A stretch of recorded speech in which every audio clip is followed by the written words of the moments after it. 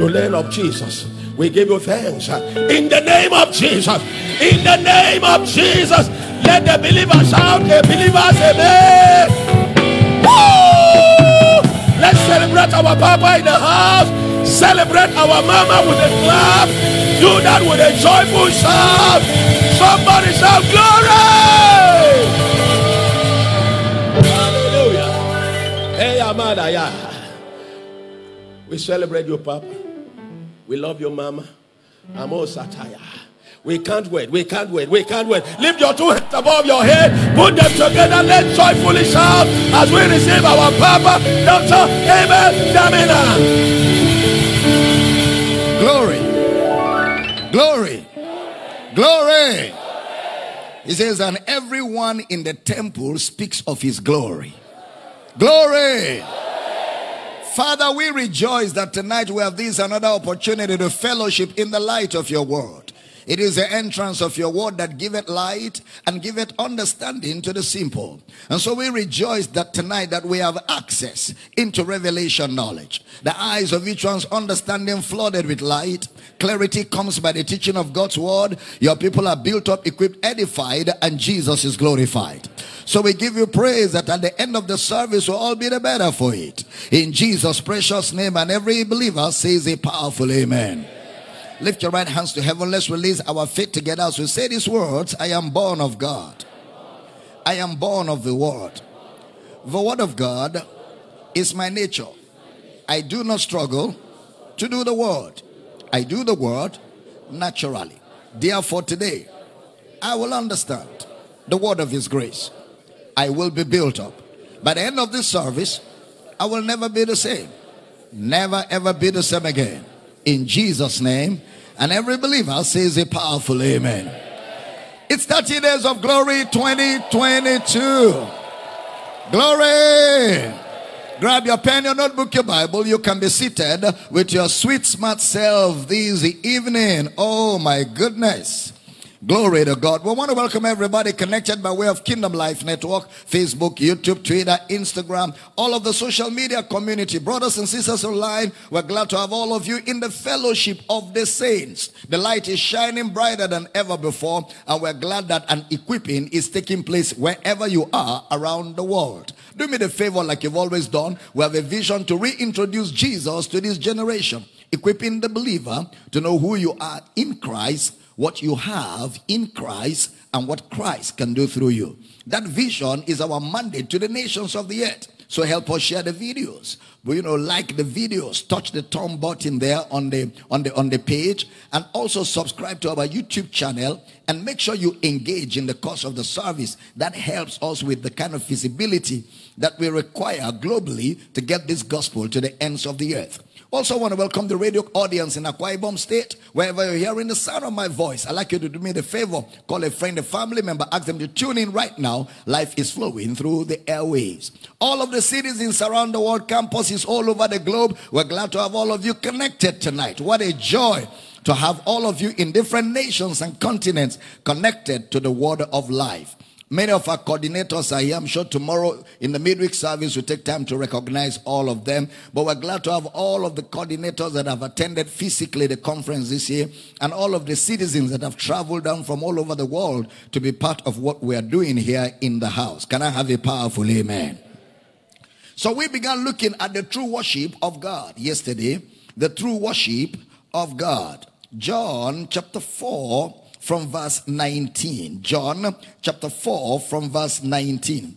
The woman saith unto him, Sir, I perceive that thou art a prophet. Next verse. We're going to verse 24. Our fathers worshipped in this mountain, and you say that in Jerusalem is the place where men ought to worship.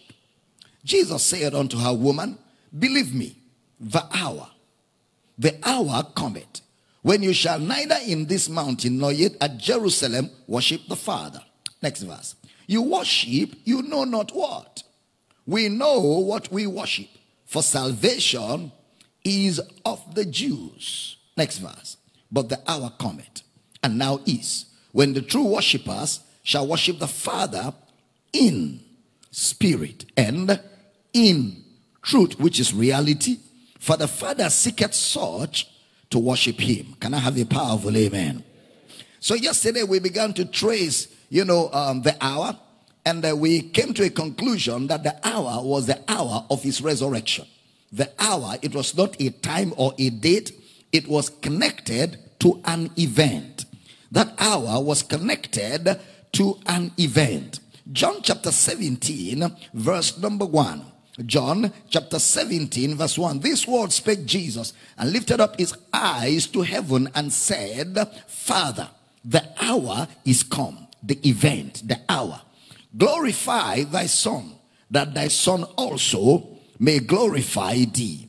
So the hour has to do with an event. Then we established that when we say you have received the Spirit, or when we say you have received eternal life, or when we say you are a son of God, or when we say Jesus died, he was buried, and on the third day he rose again, we are saying the same thing. Because salvation is a product of death, burial, and resurrection.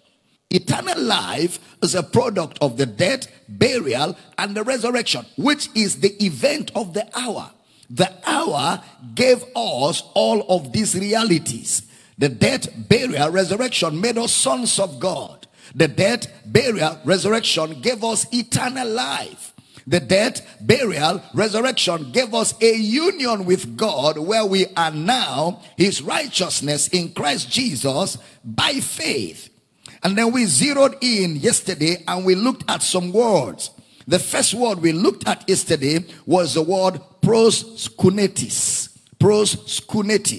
And we said that is the word in the Greek for worshiper, and it only appears one time. Taken from another word, proskuneo.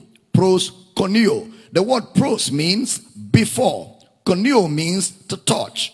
So we said it has to do with symbols of adoration, obeisance in their culture. They kissed in worship, they knelt in worship, and they bowed in worship. They fell down in worship and they paid homage. So we established that worship is not singing a song. Worship is not singing a song. But you can sing a song in worship. But worship is not singing a song. We said a true worshiper is not a solo voice singer. And then we took a, a trip yesterday from Matthew chapter 2, verse number 2. Please pay attention. Matthew chapter 2, verse number 2. Saying, Where is he that is born king of the Jews? For we have seen his star in the east and are come to worship. The wise men traveled to where he was. Secondly, they bowed down literally before him to worship. Observe that the wise men didn't come with instruments. They only came with themselves and a gift to worship. That's very instructive. We said in the law of first mention, the first time the word worship appears in scripture is in Genesis chapter 22 when Abraham was going to Mount Moriah to go with Isaac. And on the way in verse 6, he said to the servants, You stay here I and the young lad shall go yonder to worship, and we will come back. There were no instruments, there was no choir, but they were going to worship. And that's where the original meaning of the word worship comes from. There was no singing, there was no instrumentation. It was just two people who went to Mount Moriah and caught a clear revelation of God and came back. And it was called worship. So worship is not a song. Worship is an act from the heart of adoration, an act from the heart of honor, respect, where you pay homage, obeisance before God. Also observed in verse 11 of Matthew chapter 2. Please pay attention. Matthew chapter 2 verse number 11. And when they were coming to the house, they saw the young child with Mary, his mother and fell down and worshipped him. Observe, every time they met Christ or met, you know, they came to the presence of God, they they were either kneeling down, falling down, or bowing down in worship. Put up that scripture again. They fell down and worshipped him. And when they had opened their treasures, they presented unto him gifts gold, frankincense, and myrrh. So we said, when they came, they came before, and they brought something tangible in worship. They brought something tangible in worship. We also established yesterday that Satan said to Jesus in Matthew chapter 4 verse 9. Please pay attention. Matthew chapter 4 verse 9. And he saith unto Jesus, All these things will I give thee, if thou wilt fall down.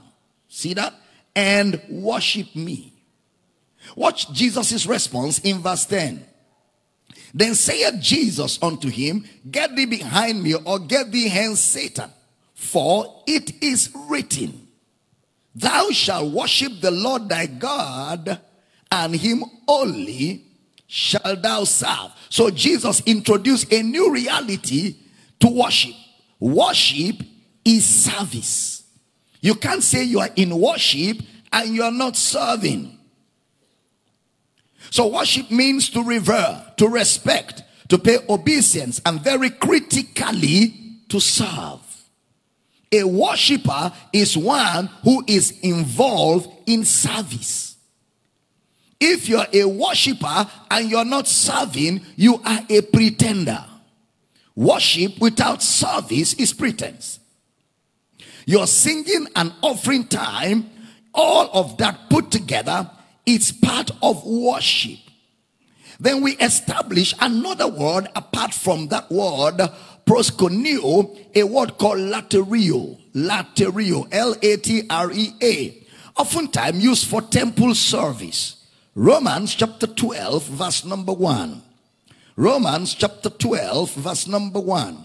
I beseech you, therefore, brethren, by the mercies of God, that you present your bodies a living sacrifice, holy, acceptable unto God, which is your reasonable service. Your reasonable service. Many of us just like revelation, revelation, revelation. The word present your bodies is present the union. I beseech you, therefore, that you present the union. The Greek word parastemi. The union, a living sacrifice.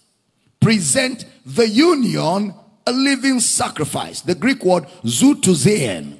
It takes you back to Leviticus, Deuteronomy, Exodus, Numbers. The service of the temple.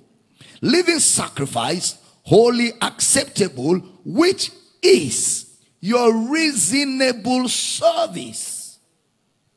Well, you will see it in Hebrews chapter 9 verse 1. I like to read that one. Hebrews chapter 9 verse 1, chapter 9 verse 6, chapter 9, and then Romans chapter 9 verse 4. Then verily the first covenant had also ordinances of divine service and a worldly sanctuary. Look at verse 4 of Hebrews 9 which had the golden censer and the ark of the covenant overlaid round about with gold, wherein was the golden pot that had manna, and Aaron's rod that budded, and the tables of the covenant. Look at it, Romans chapter 9, verse 4. Romans 9 4. Who are Israelites? To whom pertained the adoption and the glory and the covenants and the giving of the law and the service of God and the promises. So he takes you back to the Old Testament text, as we call them, how the priests will wait to offer things. How they consecrated and dedicated their lives to the service of God. All the priests of the Old Testament, they consecrated and dedicated their lives to the service of God. Now observe, he said, this is the summation of all my insight and revelation. In chapter 1 of Romans, Paul says, I'm not ashamed of the gospel of Christ. Is the power of God unto salvation to everyone that believes, to the Jews and then to the Gentiles. And therein is the righteousness of God revealed from faith to faith. So he begins to deal with the revelation of righteousness which comes through the gospel of Christ Jesus. Then he moves on to chapter 2, chapter 3, chapter 4. He begins to deal with justification by faith. What shall we then say that Abraham, our father, has found pertaining to, to, to faith? He said, if he got whatever he got by works, he has whereof to glory, but not before God. Then he says, Abraham believed God, and it was credited to his account for righteousness. Then he said, Unto him that walketh not, but believeth in him that justifieth the ungodly, it is accounted to him for righteousness. Even as David described the blessedness of the man unto whom God imputed no sins. Now, so Brother Paul is dealing with the revelation and unfolding the revelation. He gets to chapter 5, he gets to chapter 6, where he begins to deal with the law and grace. Then he gets to chapter 8. There is therefore now no condemnation to those who are in Christ Jesus. For the law of the Spirit of life in Christ Jesus has set me free from the law of sin and death. For what the law could not do in that it was weak through the flesh, God sending his son in the likeness of sinful flesh and for sin condemned sin in the flesh, that the righteousness of the law might be fulfilled in us who walk not after the flesh but after the spirit. Then he begins to talk about they that are after the flesh do mind the things of the flesh and they that are after the spirit do mind the things of the spirit. Then he began to talk about to be carnally minded is dead but to be spiritually minded is life and peace. So then they that are in the flesh cannot please God. But you are not in the flesh, but in the spirit. If so be that the spirit of God dwell in you. Now, if any man have not the spirit of Christ, he is none of his. Are we still in the building?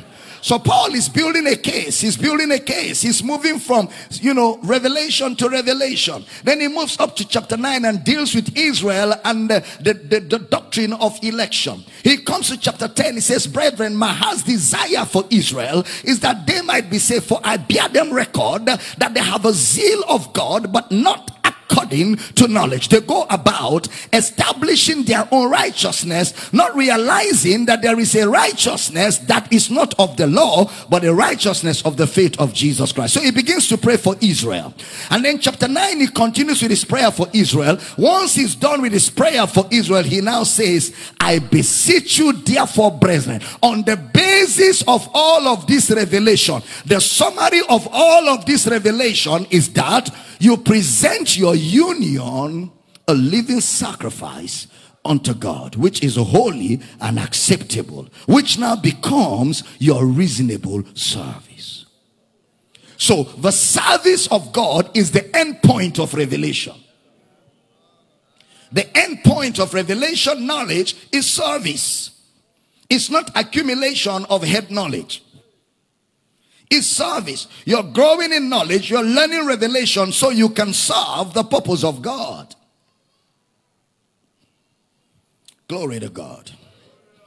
To present this union, to present this gift of righteousness, to present this identification that we have with Christ, it now becomes worship. So the verb of that word laterio is the verb latero. The very word Jesus said in Matthew chapter 4 verse 10. Put it up again. Let me read that Matthew chapter 4 verse number 10. Pay attention. Then saith Jesus unto him, Get thee hence, Satan, for it is written, Thou shalt worship the Lord thy God, and him only shalt thou serve. Worship that is only done in singing and in tears is deceit. Worship that is only done in singing and in tears is manipulation. Worship must be done with service. Jesus quoted from Deuteronomy chapter 6 verse 13. Why are we saved? Why are we redeemed? Why do we have the gift of the Holy Spirit? Why are we called believers? Luke chapter 1 verse 74 to 7, 74 and 75. Luke 1 74. That he will grant unto us that we being delivered. Oh, glory to God. We being delivered out of the hand of our enemies might serve. Being delivered. So the intent, the purpose, eh? the plan, the design. Okay? Eh, are you following? The, the, the plan of God, the intent of God for delivering us from the hands of the enemy. Colossians 1 12. Giving thanks unto the Father who had made us meet. Meet there is not suya. It's old English word for qualified. Who has made us qualified, meet, to be partakers. They that have a part, to be partakers of the inheritance. But observe, you can only enjoy the inheritance with the saints that are in light. There are saints in darkness with the saints in light. That's where you partake of this inheritance. Partakers of the inheritance of the saints in light. Next verse. Who have delivered us from the power of darkness. It's been done already. And had translated Look at the tenses. Translated will not translate. Had translated us into the kingdom of his dear son. In whom we have redemption through his blood. Even the forgiveness of sins. Then Luke now says in Luke 174. Observe, Luke 1 says that he will grant unto us that we being delivered out of the hand of our enemies might serve him without fear. Kabayada. You have not received the spirit of bondage again to fear, but the spirit of adoption whereby we cry. That's the worship of the new creation. We cry, Abba Father. Oh, yeah, Badagana. Give me verse 75. I like verse 75 of same Luke that we might serve him in holiness and righteousness before him. Worship must be before him or towards him. Before him all the days of our lives. Are you still here? So the essence for the exodus is to serve. He told Moses, tell Pharaoh, let my son go. Why? that he may serve me. Let my son go that he may serve me.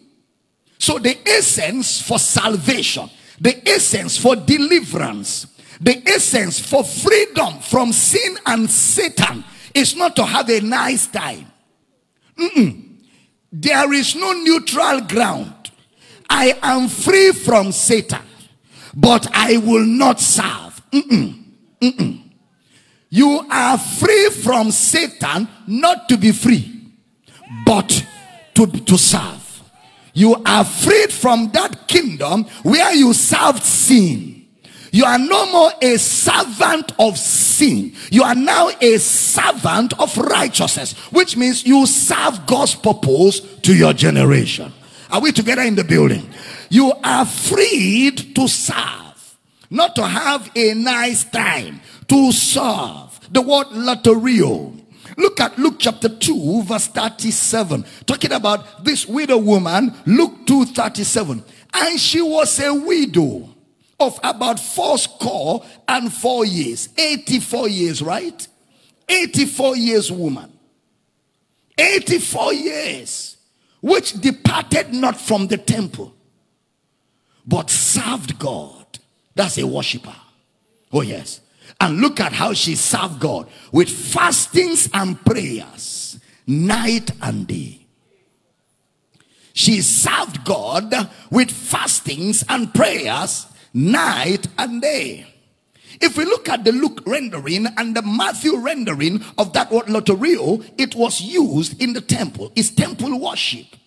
And in the temple, you bring sacrifices. You bring things and bring a show of that service the list of worship the list that is when you have not really worshipped, the list of worship is singing in worship.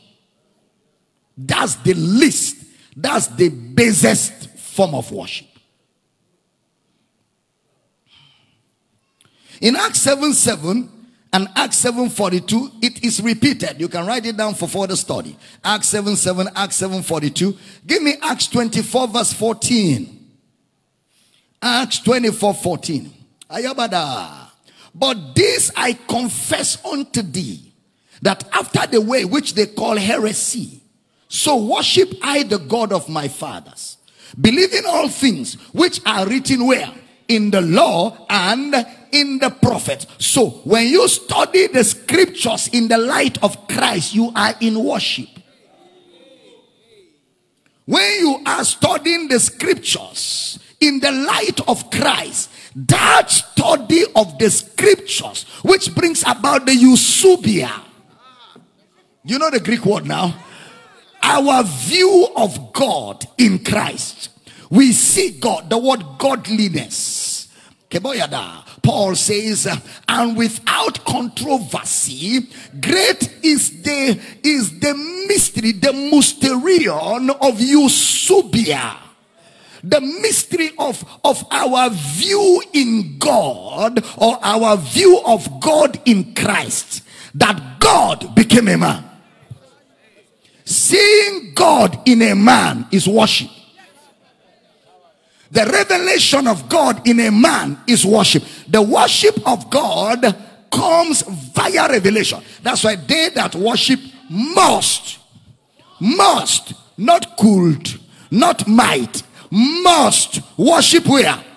In spirit and in reality. The reality there is being able to see Christ beyond the shadows, beyond the ceremonies, beyond the drama. You see Christ as he is revealed via the instrument of the scriptures.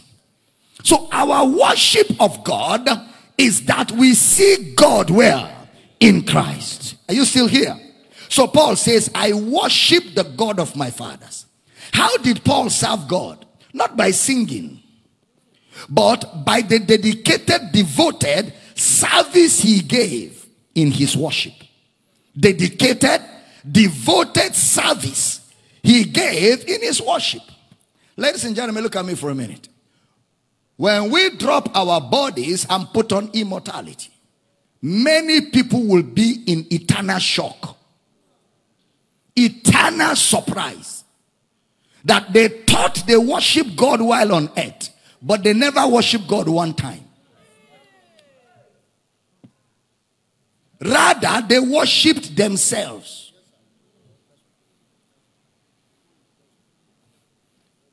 You know, a song like Me I no go suffer is not worship, it's selfishness. You are worshiping yourself.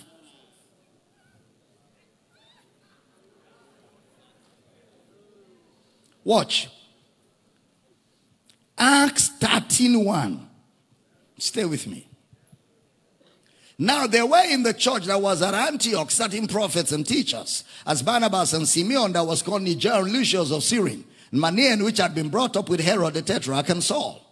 And next verse, as they ministered as they did what? That's worship. As they ministered to the Lord. The ministry was to the Lord, not to themselves. They were not singing self aggrandizement songs. As they ministered to the Lord and fasted. So it was all to the Lord. The focus was the Lord. The center of attention was the Lord. And when they focused on the Lord in worship, the Holy Ghost said, the Holy Ghost said, as they ministered to the Lord, as they set their desires, set their motives, set their hearts on the Lord in worship while fasting and prayer. Their heart being on the Lord is worship. They may not have been singing a song, just their heart set on the Lord. Thou shalt keep him in perfect peace, whose heart is stayed on thee because he trusts in thee. Glory. Acts 26 7. Write down for further study because of time. Romans chapter 1 verse 9 verse 1. Put chapter 1 verse 9. Put it up for me on the screen. Romans chapter 1 verse 9. For God is my witness, whom I serve with my spirit in the gospel of his son. Kayada. I love brother Paul. Whom I serve in the spirit. And this is how I serve in the gospel of his son. That without ceasing, I make mention of you always in my prayers. So teaching the gospel of Christ is worship. As I'm teaching now, I am in very deep worship. I'm not crying, I'm not weeping, I'm serving. Because there can be no genuine worship without service.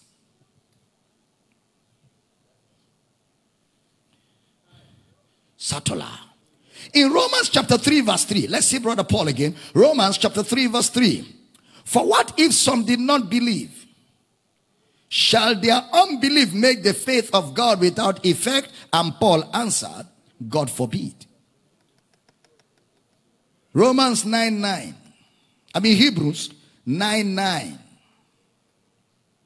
Put it up. Which was a figure, the Old Testament temple worship where they brought animals, was a figure for the time then present, in which were offered both gifts and sacrifices that could not make him that did the service perfect as pertaining to conscience. So they were offering sacrifices in service to God with dead conscience. Because their conscience has not been purged from dead works to serve the living God. But in our case, our conscience has been purged. Christ has ascended into our hearts. So we worship in spirit, in a pure spirit, in a holy spirit. Now, nothing is wrong with gifts and sacrifices. It's just that their conscience was not perfect.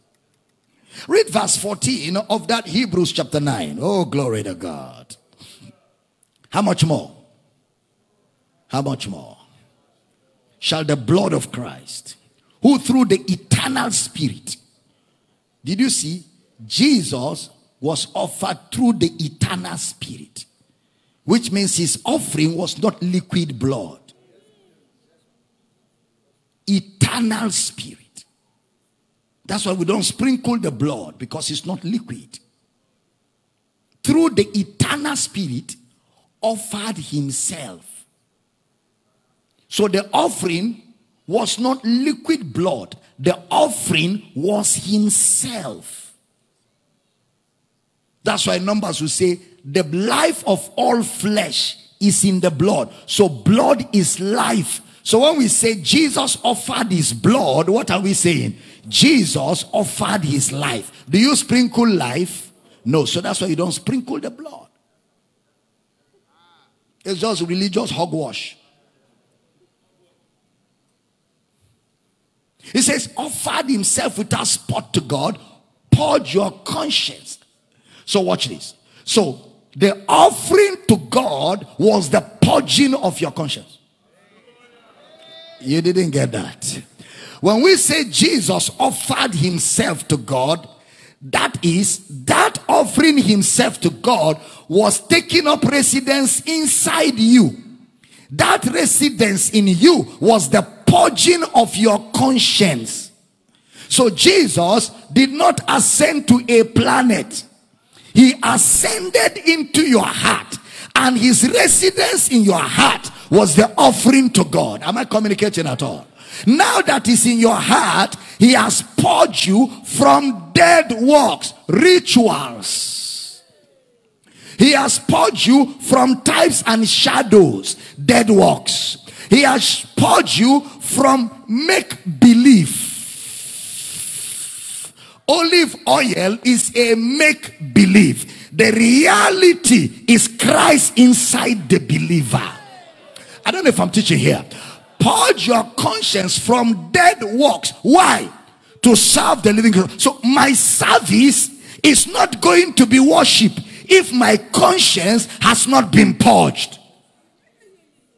It is the purging of my conscience that makes my service worship. The purging of my conscience. And that was done once by Christ Jesus. Are we still here? So, by redemption, we can now serve God. Just like Hebrews 12 28 said. Hebrews 12 28. Therefore, we receiving a kingdom that cannot be removed or moved. Let us have grace, whereby we may serve God acceptably with reverence and godly fear.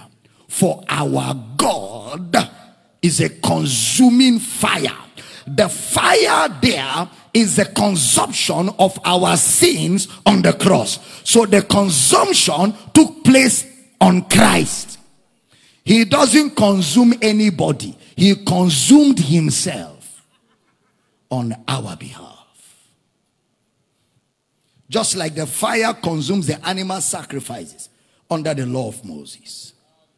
The worship of God is beyond singing. Some people will even sing and disobey their pastor. Pastor said two minutes, they sing four minutes. They are no more in worship, they are in entertainment. Because if you're truly in worship, two minutes will be two minutes. In worship, obedience is key. You don't worship on your terms. You worship on his terms. And he has put an authority over you that said anything within two minutes will be worship. Anything outside two minutes will not be worship.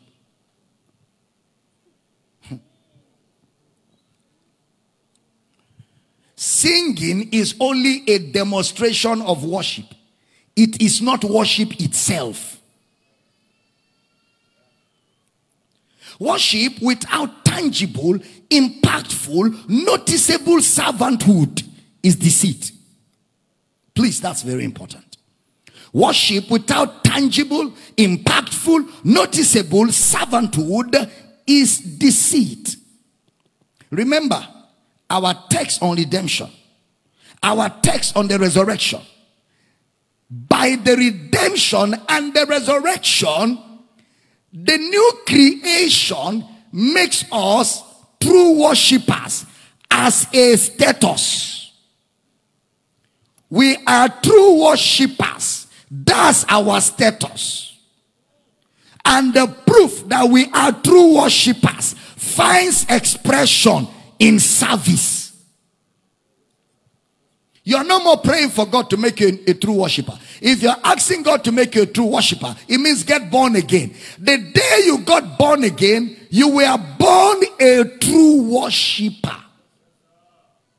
All of us here are true worshippers. Because it's not about singing, it's about service. You don't need a good voice to be a true worshiper. You just need to serve. Teach the gospel, you're worshiping. Preach the gospel, you're worshiping. Sing the gospel, you're worshiping. But it is only worship, first of all, because you yourself, you are a true worshiper by the redemptive sacrifice of Christ. You are not a true worshiper because when you sing, people cry. Mm-mm. You are not a true worshiper because when you sing, people get emotionally high. Mm-mm. You know, I love worship. Every time they are singing worship, all my sorrows are over. that's not the intent of worship. The intent of worship is not for your sorrows. The intent of worship is adoration, adulation, veneration to the only true God who has saved you from sin. When that worship goes before God and you acknowledge who you are in Him, the sorrows will disappear. It's not the song that disappeared the sorrow, it's the remembrance. When I remember what the Lord has done, I will never go back anymore. It is a remembrance and acknowledgement that the communication of your faith it becomes effectual when you acknowledge so in worship because the words of worship are the words of redemption because the words of worship are the words of identification. So as you are saying those words, your mind is remembering what is yours. Sorrow vanishes, fear vanishes, sicknesses and diseases become nothing. Mountains skip like rams, obstacles disappear like monkeys into the jungles. Your, your victory in Christ comes alive you begin to say, Thanks be to God who always causes us to triumph. Zikoma shakayanas. no no no no no sikalanama. David said, When I was in the in the jungle, the lion and the bear came, and with my hands I tore them. What was David doing? He was acknowledging what Christ, what God has put in him. He said, Goliath, you are just like one of them monkeys. You are one of like one of them lions. Any face you appear in, you are one of them. The same way I finish the others, you are coming down now. Am I communicating at all? Goliath was a type of Satan harassing believers in Christ. And David remembered having spoiled principalities and powers. He made a show of the believer triumphing over the devil and his cohorts. Zilo Mashakayada. When you remember what he has done, you begin to say to yourself, I am not sufficient of anything as of myself, but my sufficiency is of God who also has made us able ministers of the New Testament, not of the later, for the later it, but of the Spirit that giveth life. I'm not going to be an able minister. I am already an able minister because of what Christ has done in me. Somebody shout glory. Somebody shout glory. Somebody shout glory. Sit down, let me push it a little more. Zeko Lamasata. Vilo Mozuke Legedisha. So when we sing, it's not worship. Because redemption and the resurrection gives birth to true servants. Redemption and the resurrection of Christ gives birth to true servants. Which means by the new birth, pretentious, hypocritical worship should be in your past. By the new birth, eye service, pretense, hypocrisy should not be found in your worship. Because the new birth has birthed you into true worship. Which means if you're not serving in truth, it's because you don't want to, not because you cannot. It's a deliberate, intentional refusal to worship in truth. Present this union That's why the next thing he talks about in Romans 12 is God has dealt to every one of us. You know, that's the same context. After he says, I beseech you, therefore, brethren, present your bodies, be not conformed to this world, but be transformed by the renewing of your mind. Look at verse 3, Romans 12 3. For I say through the grace given to me, to everyone that is among you, not to think of himself more highly than he ought to, to think, but to think soberly, according as God had dealt to every man the measure. So every believer has the measure of faith. Look at the next verse. He now said, For as we have many members in one body, and all members have not the same office. Next verse. So we being many are one body in Christ, and everyone members one of another. Next verse. I love this. Having then gifts differing according to the grace that is given to us whether prophecy, service, the presentation of your body a living sacrifice finds expression in service. So if it's prophecy, let us prophesy according to the proportion of faith. Next verse. Or ministry. Let us wait. Let us stay on our ministry or he that teacheth. All of these are the things that define service. Reasonable service. Or he that teacheth.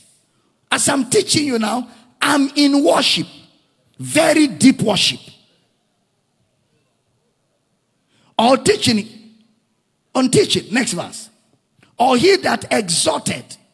On exhortation. He that giveth so in worship, we give.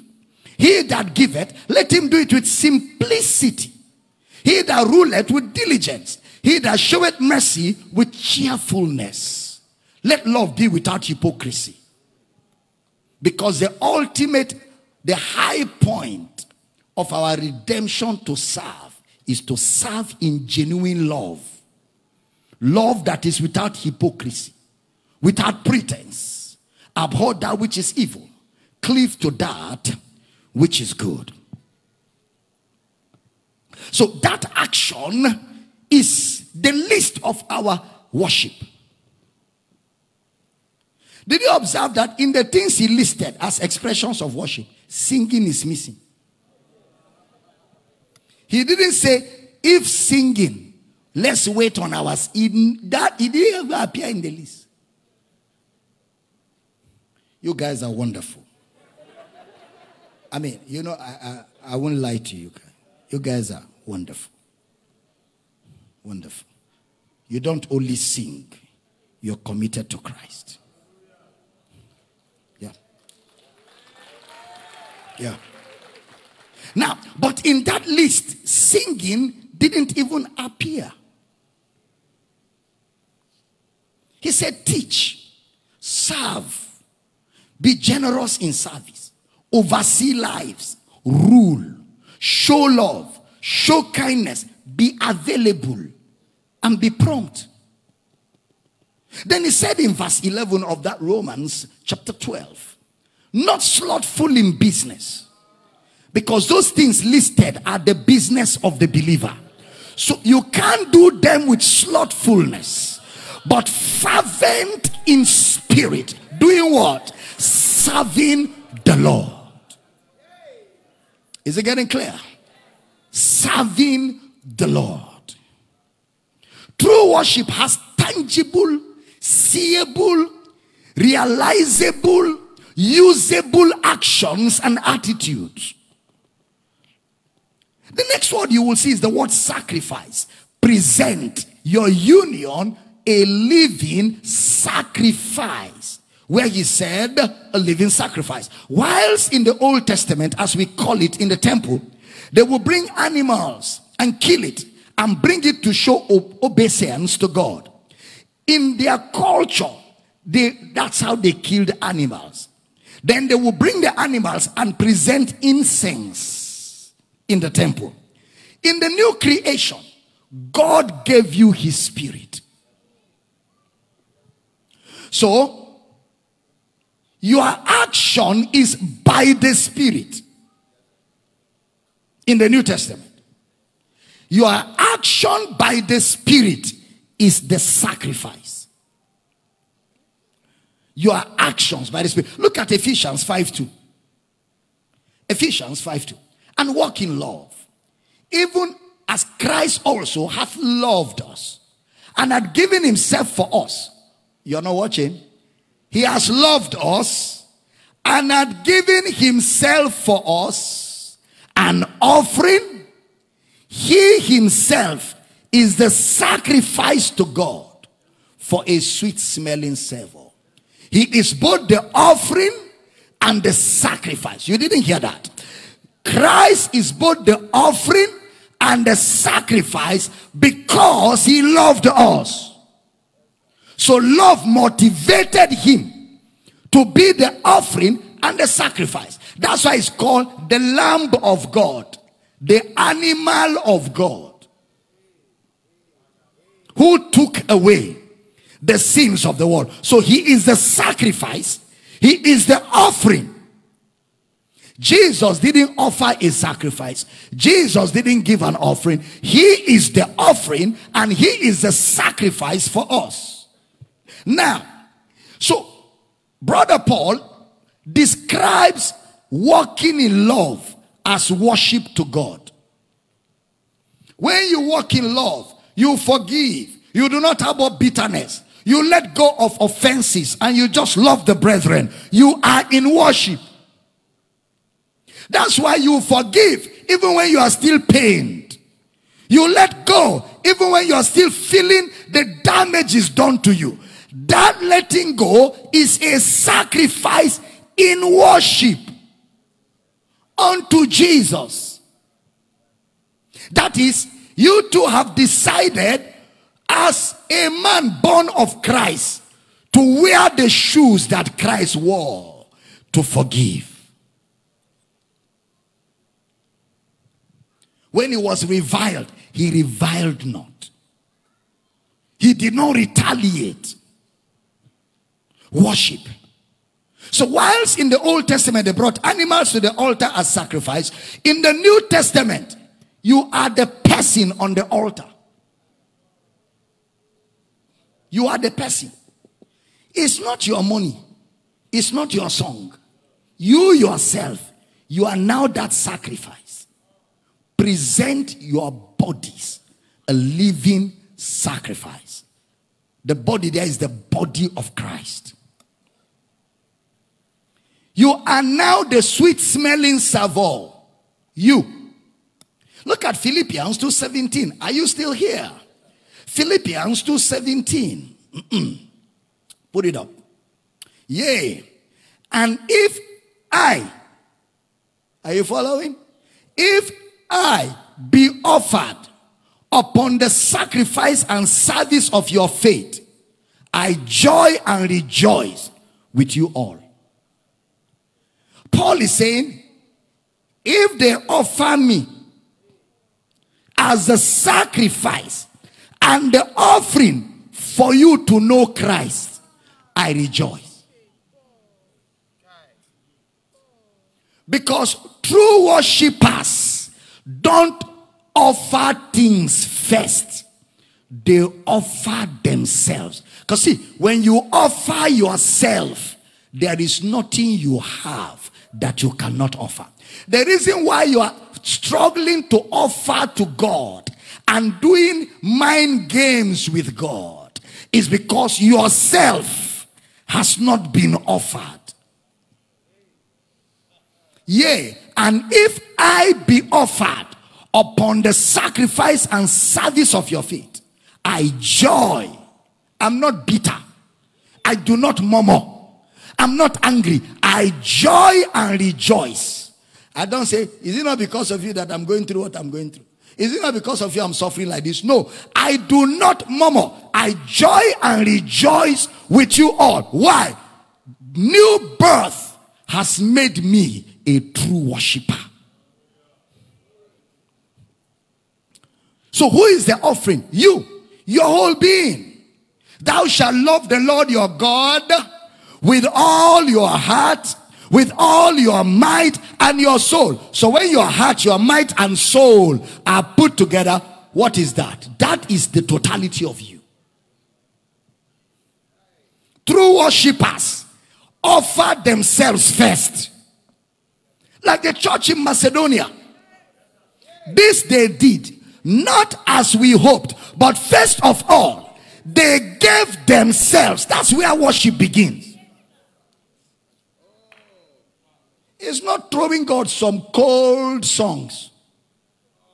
No, it's you on the altar of worship. Then anything that comes with you becomes a sweet smell. It's you first. You worship God with your spirit, your soul, your mind. Deuteronomy 6 5 was where Jesus was quoting from. So Paul said, I myself is offered. Look at Philippians 4:18. When the people sent Paul, their pastor, an offering. But I have all and abound. I am full, having received of Epaphroditus the things which were sent from you. So what you now send to me is now an odor of a sweet smell, a sacrifice acceptable, well pleasing to God. It became all those adjectives before because these people have already given themselves. The proof that they gave themselves found expression in their sacrifice, their offerings, which now is translated to the incense of the Old Testament in the altar as a sweet smell to God. We're teaching here. Stay with me. Because you can think you are in worship, and on the day you see Jesus, you never worshiped once. And that's why I'm taking time to deal with these rudiments, these ele- elementary fundamentals that enables you to fulfill the purpose of God for your life without grudges and faithfully. So, giving in church without a worshipful attitude is not giving. Because as you are giving, you ought to be doing it to Him. I know that when you give, Men collect the resources. Are you all hearing? Yes. No offering physically goes to God. Because God does not spend dollars. Every time you give, the resources are collected by men and managed by men for the purpose for which the monies are given. And it is used for men. It is used for men. Are we in the house? Yes. But you must give with an attitude of worship. It is the worship in that offering that goes to God. Just like in the campuses, men oversee our operations. You have departments, you have clusters, house centers that are headed by men. The moment you focus, your focus shifts in any way from worship, what you're doing is in vain. In vain do they worship. They worship with their lips, but their heart is far. You can read this at home. Hebrews 5 1. Hebrews 7 27. Hebrews 9 9. All demonstrate these things I'm sharing. The death of Jesus in Hebrews 10 12 was also sacrifice. The death of Jesus, it was sacrifice. Sweet smelling savor. Dr. Damina, is singing worship? No. But we can sing in worship. So, worship is service. Worship is sacrifice. Worship is to pay homage to God, obeisance, respect, and courtesy. You know, the way you come to services, Do you do it in worship? The way you attended the homecoming and those watching online and in all the various campuses, are you attending it in worship? Lack of respect, lack of honor, irreverence for who is here.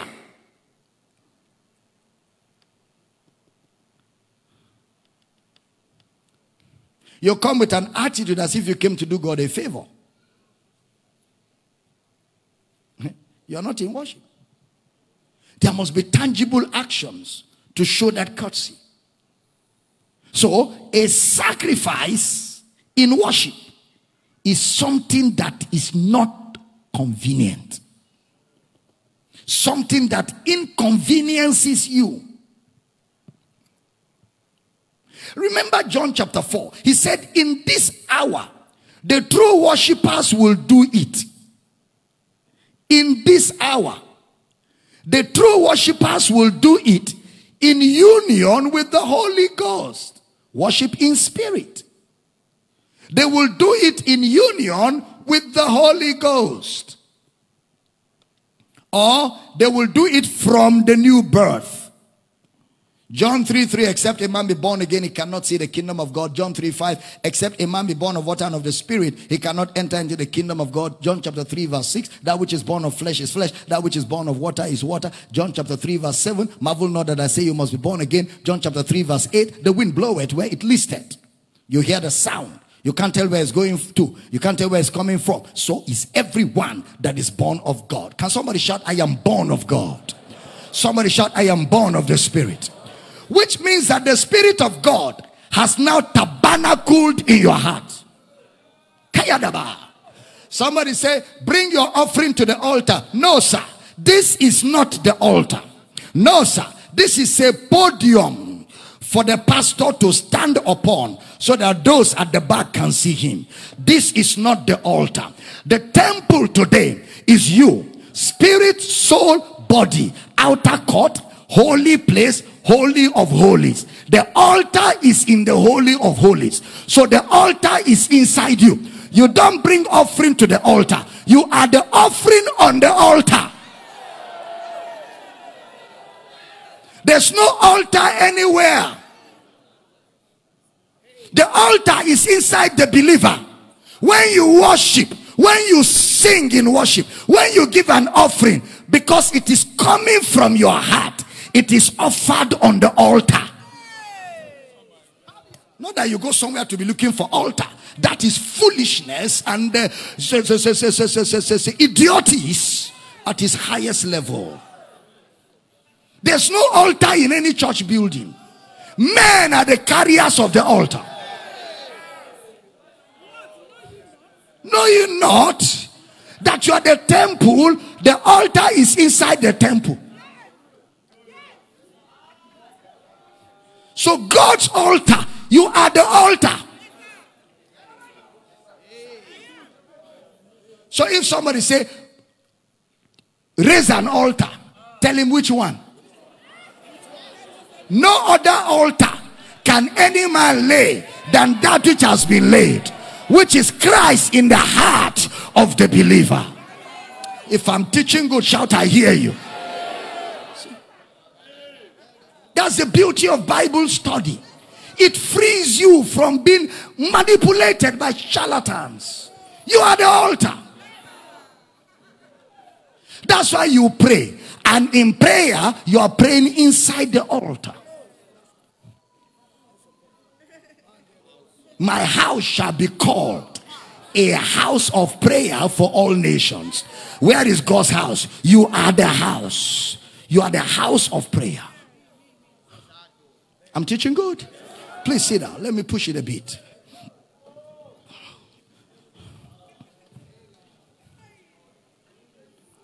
You are born of the Spirit. The word gennao, Ge- gennao, it means you are gen- generated by the Spirit. It carries with it genes, chromosomes, DNA, faculties, and abilities. Yeah, the genes of God the chromosomes of God, the DNA of God, the faculties of God and abilities of God were the constitution of the new creation. In John 4:10, he calls it the gift of God. In John 6:63, he says, uh, The flesh profited nothing. The words I speak to you, they are spirit and they are life. They are pneuma or they are huh? They are ruach.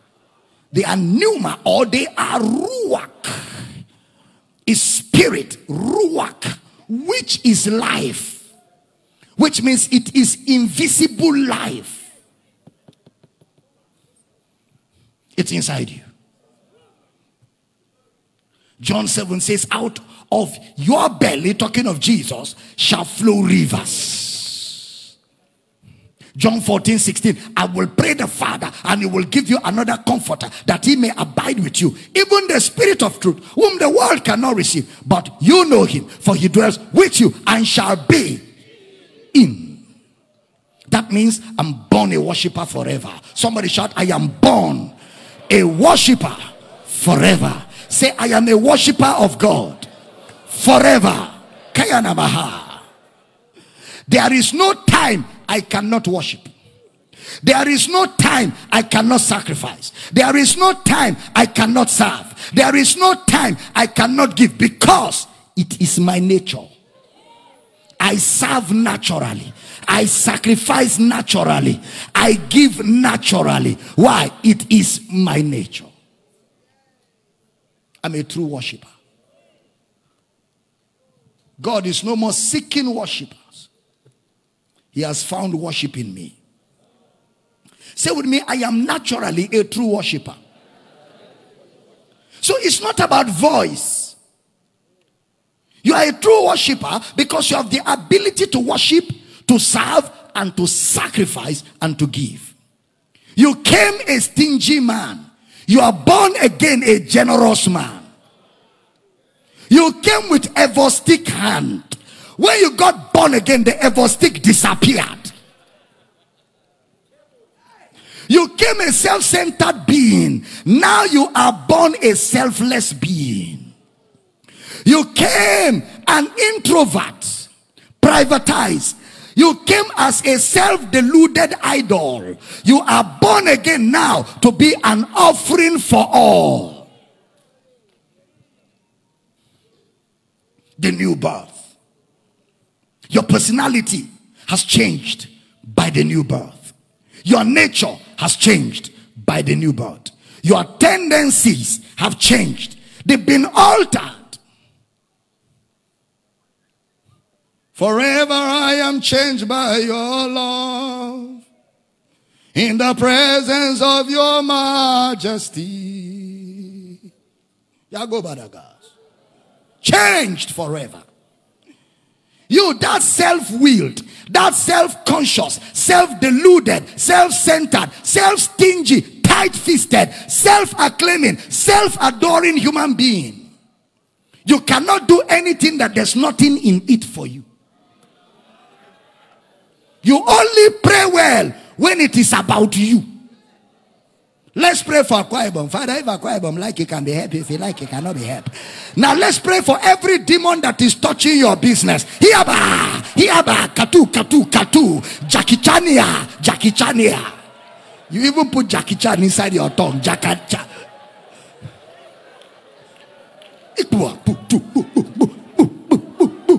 Shakato, kato, kato, pa, kiada. Kung Fu prayer.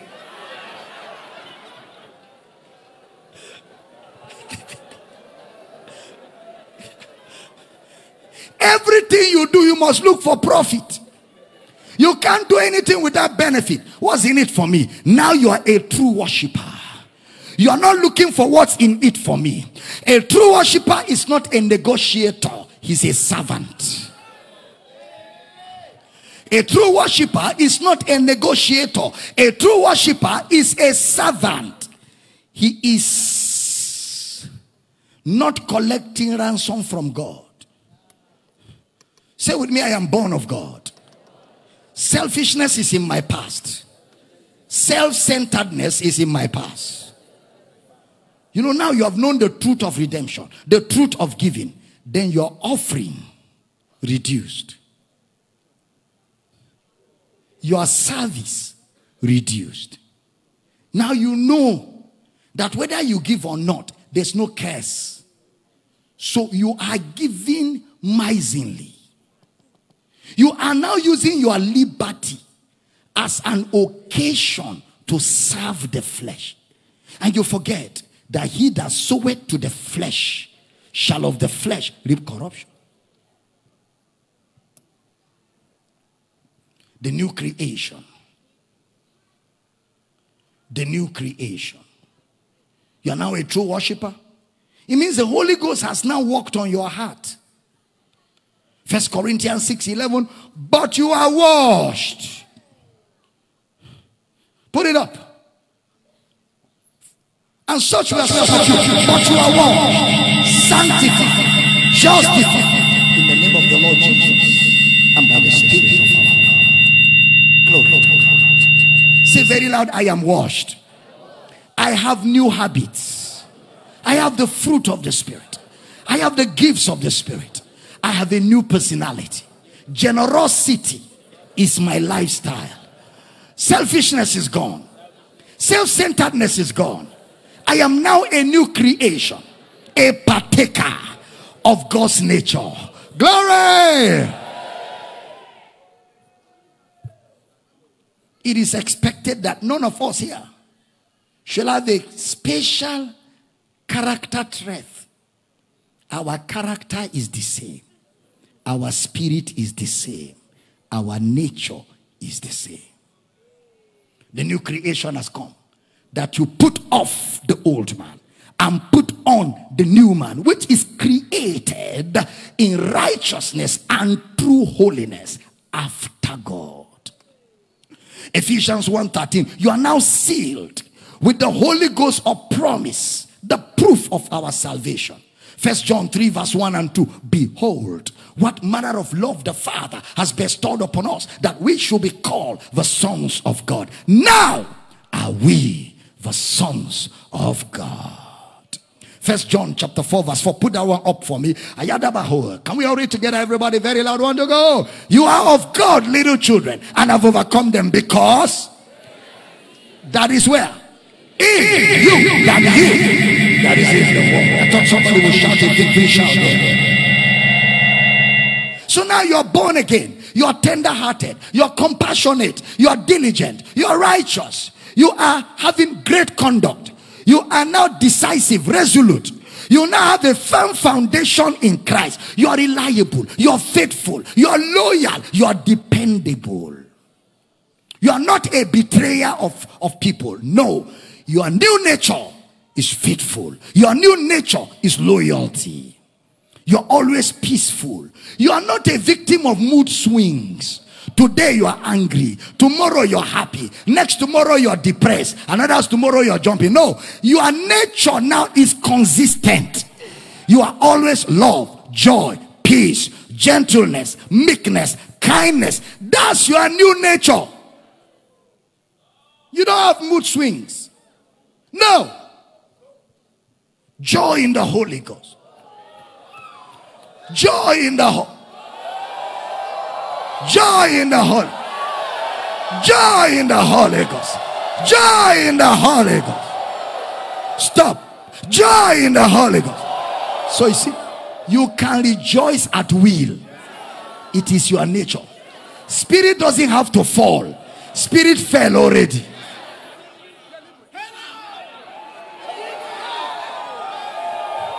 And any volume you like, you can raise it to the volume. Okay, follow my hand. Follow my hand. Joy in the Holy Ghost. Joy in the Holy Ghost. Joy in the Holy Ghost. Joy in the Holy. The spirit of the prophet is now subject to the prophet. So I will pray in the spirit and I I I will pray with my understanding also. Teaching good tonight. Give me three more minutes. Sit down. Three more minutes.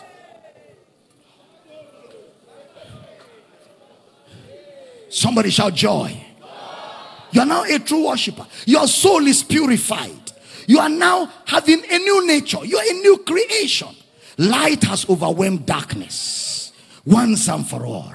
The Lord is the strength of your life. No more weakness. The Lord is the light and my salvation. Whom shall I fear? The Lord is the strength of my life. Of whom shall I be afraid? Karubadaya. Kimanagada. The Lord is my shepherd. I shall not want for protection. He leads me beside still waters. Yea, though I walk through the valley of the shadow of death, I fear no evil because my shepherd is with me. He has never left me. He will be with me forever. Even when I don't see the enemy, he stops him from taking me by surprise. My enemies don't take me by surprise.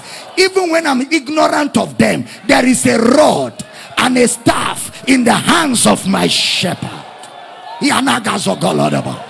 So count it all joy, joy, joy, joy, joy, joy. Hey! Hey! Joy in the Holy Ghost. Where are you? Where is joy? Joy. Joy.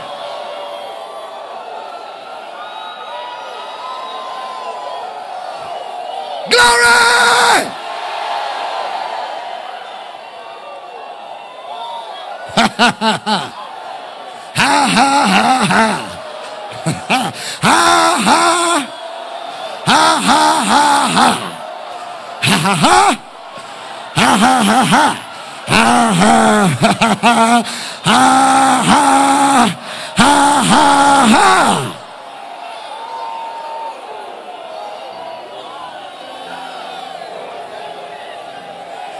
Glory!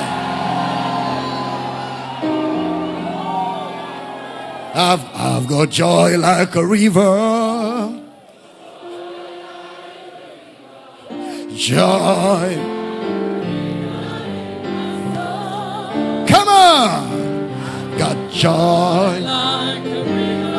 Oh, joy. Joy like a river. Yeah, joy. Joy like a river I've got joy. like a river. Yeah. Joy like a river. Oh, joy. Like a river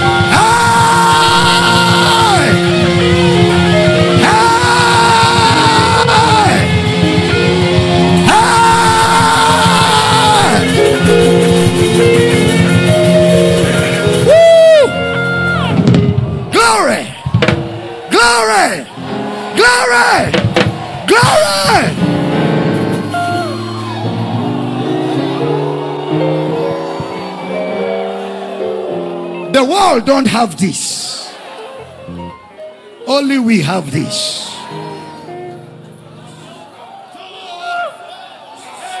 Joy.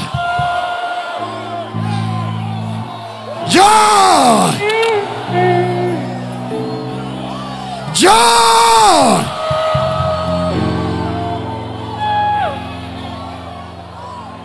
The world can't give it. The world can't take it away. Problems can't give it. Problems can't take it away. The joy of the Lord. Count it all joy. When you fall into divers, knowing this. Joy. Joy. Father, thank you that this joy has no bounds and no limits.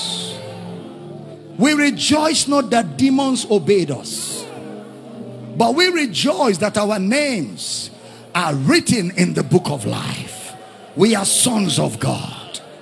Behold, what manner of love the Father has bestowed upon us that we should be called the sons of God. Therefore, the world knoweth us not because it knew you not. We present our union. We are true worshippers. We are true worshippers. And we worship in reality. Thank you for grace tonight. Sick bodies are healed, sicknesses are melting and skipping like rams in the presence of the Lord. Miracles are released creative miracles, curative miracles, restorative miracles. In the name of Jesus, the lines are falling to you in pleasant places. You have a godly heritage. You are like a tree planted by the rivers of water. Your leaf also shall not wither. You bring forth your fruit in your season. Whatsoever you do shall prosper. In the name of Jesus. Great grace is upon you. In Jesus' precious name. And every believer shouts that amen on a note of finality.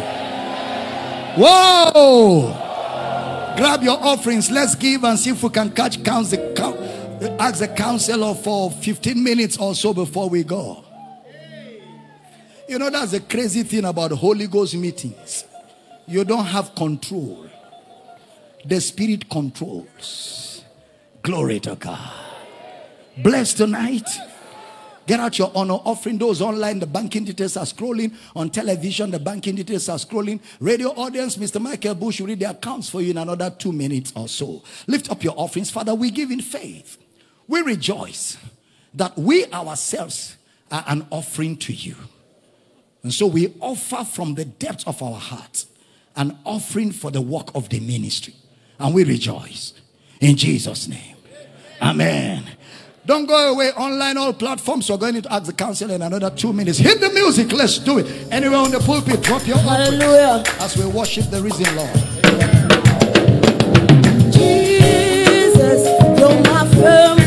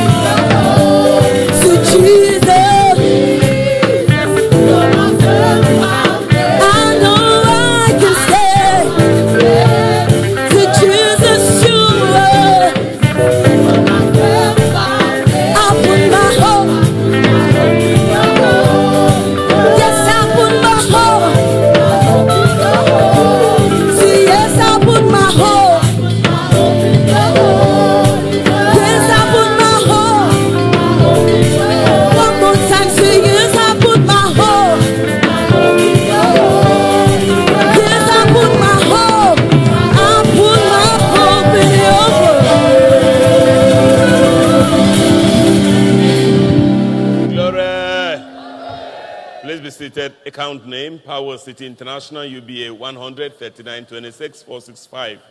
139 26 465. Zenith is 10 12 36 59 12 10 12 36 59 12. That's for Zenith, and account name remains Power City International. Okay, so you can send us an email or two. It's askthecounselornow at gmail.com or for sponsorship, for partnership, for support just dial the program hotline, plus 234 if you're dialing from outside Nigeria. Otherwise, it's simply 0803 275 6104 or you send an email or two to Dr. Abel Damina at yahoo.com. Dr. There, of course, is there. My name is Michael Bush. My producer is Pastor IJ Quer the production team. Global Baba joins us now. Put your hands together for Global Baba, Dr. Abel Damina. The Intercontinental Mr. Bush. Global Baba. Finally, we got him. Global, let's just do a quick opening prayers and we get the program underway. Let's pray together. Father, we rejoice that we have all that pertains to life and godliness in Christ Jesus. And we're in control of our environment as the light and the salt of the earth. So we pray for Nigeria, Akwa Ibom State, and the rest of the world. We ask that the gospel continues to thrive. Men come to the light of this truth, this gospel, this liberty in Christ. And we rejoice that disciples are raised, souls are saved, ministers are empowered all over the nations to preach Christ. In Jesus' name. Amen. Amen. Okay, so Global Baba, we, the last time we were here live, we spent the night right here in Uyo, Akwa Ibom State, Nigeria. So let's kick off uh, here from this anonymous entry. Hello, Global Baba, and the Intercontinental Mr. Michael Bush. Please, sir, since the Bible says faith without work is dead, is it a sign of lack of faith in God or double mindedness for someone to trust God for a miracle and at the same time seek practical alternatives or physical steps to provide solutions to his problems? Now, that's not the meaning of faith without works. You just read your thoughts into the Bible. When he talked about faith without works, he was talking about love. That you can't say you have faith in Christ and it does not translate into loving people. Through preaching, through giving to people who are in need, through, through praying for people who needs prayer. It's not talking about you believing God for healing. That would be a different scripture, not the one you read. Number two, since God is not responsible for the sufferings or negative circumstances of his children, then who is the cause and why does God allow them to happen? Well, God allowed man to have free will, and the free will of man created evil. James 1:13. For let no man say when he's tempted, I'm tempted of God, for God cannot be tempted of evil, neither tempted any man. But every man is drawn away of his own loss. Romans 5:12. For as by one man sin entered into the world, so man by his will made the choice to cooperate with Satan and create evil. The only part God plays is to deliver man from the problems that man has created. All right, the, the last shot from this anonymous entry is why is life global about outside of Christ painful, frustrating, and meaningless? Because without Christ, life is supposed to be frustrating, meaningless, useless, and totally useless, like animal and plant life without second-hand value. All right, let's make progress from Uyo Akwa Ibom State to come to Abakaliki in Ebonyi State. Greetings, my father. My name is Uche Etete. I'm one of your sons in the Lord. Daddy, I've been following you meticulously for some years now. Thank you so much for allowing God do that all He's doing through you. You are indeed a blessing to me and to the body of Christ. And I must say, the words you speak are transformational. Thank you also, the Intercontinental Mr. Michael Bush. Please, Father, it's a lengthy one, but I really need direction on this. Some years ago, in my former church, just trying to pick that one up, it's really long. One of the Pentecostal churches, an elder in the church, had a vision, and he said God also gave him the interpretation of the vision. He interpreted it to mean that there is God's mandate on my head. Meanwhile, I've had sev- several dreams seeing myself preaching during large crusades, winning thousands of souls to Christ and, and performing all kinds of miracles with ease. I'll be speaking in other tongues, even in the physical. There was also a time, Global, I visited one of my siblings in Port Harcourt. One day I sat down at the veranda and I saw two people going around preaching the gospel. When they got close to me, one of them came and said, You are a servant of God. He said he has just received a message from God and that the message is confirmatory. He asked if anyone had told me this before and had not, and if I'd been dreaming about it. Immediately, I knew in my spirit that the message was from God. That after this time, actually after my youth service, I became sick to the point of death. One day, as I was still laying on a couch, I had a vision. In that vision, I saw an elderly man who said he, I should climb a little stick that was on the floor. When I climbed to the stick, we started moving in the air. we run now. And we moved to a beautiful place. Very beautiful, and everything was pleasing to the eyes. I told them that I don't want to go back, and he said no, that I've not accomplished the mission. I pleaded the more, but to no avail. No, Baba, I cried and cried to the physical also. It was so real. Friday last week, here in Ebonyi State, where I now reside because of my work, a lady came and told me the same thing. She said she got the message three times, but had a little problem to tell me and she couldn't hold it anymore. She said, I have a ministerial office. She asked again if anyone had told me this. She also asked what I was waiting for, that I would have gone far by now in ministry. I became so restless, Global Baba, though I have been praying about this for some years now, asking God for direction. It's become a heavy burden on me now. I want to be trained by you, Daddy, but I do not know how to go about it, considering the nature of my job, banking, and especially where I now live. I need advice. He leaves a phone number. There's also a need for campus to be campus of um, PCI to be established in Abakaliki. May God continue to bless you, and thank you, Global Baba. Then the Continental was there Uruan in that. In that Okay, Global Baba, no, he said they were, you know, They were climbing we do all things. sorts of things, Global Baba, in Uruan. in Uruan. Please, you have to take me there on a Absolutely. Global Baba. Well, Pastor Matthew will respond to that email. We'll see how we can get into our pastoral institute and help you to grow and fulfill the ministry that you. Every child of God, you don't need a vision. Once you're born again, you are called into ministry. From the point of being saved, you start growing. Ministry is a fruit of spiritual growth. So as we begin to train you, ministry comes out of you. Okay, Global Baba, I think we should just leave it there for this edition. Uh, when we come back, uh, sometime in the future, we will be able to restart from Abakaliki in Ebonyi State. My name is Michael Bush. My producer is Pastor Kwere. Global Baba is up next as we say bye-bye on this edition of the program. Help me welcome Global Baba, Dr. Abel Damina. The Intercontinental Mr. Bush. Let's celebrate Mr. Bush again for serving us. Amen. Well, Mr. Bush said in the future because Holy Ghost meetings are happening this week. It could happen tomorrow, it could happen next tomorrow. So we look forward to having everybody. It's, it's, it's an amazing time of growth and just fellowship in the things of the Spirit. We look forward to spending more time tomorrow. Church service begins at 5:30. We have a 9 a.m. service for those of us in the city here. Everyone, today was just amazing. You don't want to miss tomorrow 9 a.m. 98 Nwaniba Road, Uyo, Akwa Ibom State. Tomorrow evening 5:30 we're back again for our, our, you know homecoming. It's getting sweeter and sweeter. We want to welcome everybody who, who has come in today, yesterday, this morning, and we're just glad to have all of you here. Looking forward to sharing time with you tomorrow as we bring you word from the, from, from the Word of God. Enjoy the rest of your day and be blessed. Goodbye from Uyo, Nigeria. Amen.